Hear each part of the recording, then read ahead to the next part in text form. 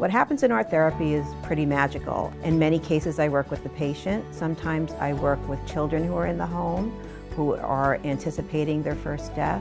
At other times, I'm working with the patient and another family member on a legacy piece, which could involve using photographs and memories and writings. If they're feeling depressed or down, it helps them to relax. I also use music on occasion, um, drumming, singing, and that helps them as well.